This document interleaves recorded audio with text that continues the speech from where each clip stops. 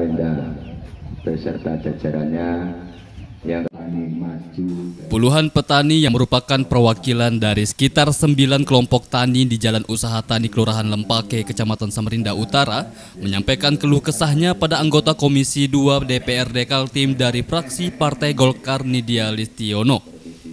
Pada kesempatan tersebut, petani mengeluhkan tentang minimnya teknologi pertanian yang dimiliki untuk menunjang peningkatan hasil panen. Selain peralatan pertanian, buruknya saluran irigasi yang ada menjadi kendala tambahan bagi petani padi di kawasan itu.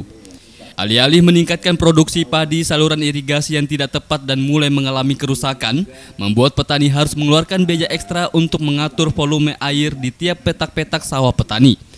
Berdasarkan keluhan masyarakat serta pengecekan di lapangan, anggota Komisi 2 DPRD Kaltim Nidia Listiono berjanji akan mendorong pemerintah kota dan provinsi untuk memperhatikan petani agar produksi pertanian kembali meningkat.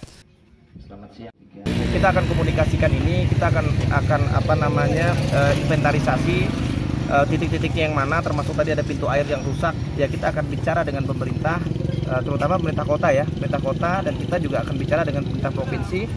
Bisa memberikan bantuan-bantuan dengan segera terutama tadi bicaranya adalah alat pertanian nah ini saya minta pemerintah benar-benar eh, harus peduli dan memang kita harus bekerja cepat.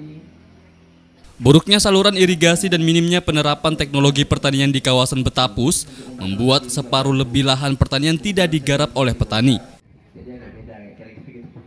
ini potensi yang unggulan kita padi. Padi kurang lebih 300 potensi kita 350 hektar karena kemarin ada halangan ada ma- banyak masalah terutama masalah saluran irigasi sehingga sementara ini hmm, yang berfungsi kurang lebih 150 hektar. Selain menunggu bantuan dari pemerintah untuk memperbaiki saluran irigasi di kawasan persawahan, para petani setempat juga punya wacana untuk menjadikan lokasi pertaniannya sebagai objek wisata. Tujuannya agar masyarakat setempat dan masyarakat umum dapat lebih mencintai lingkungan serta menjadi sumber penghasilan tambahan bagi warga sekitar. Dari Samarinda, Puju Mustopan, iNews melaporkan.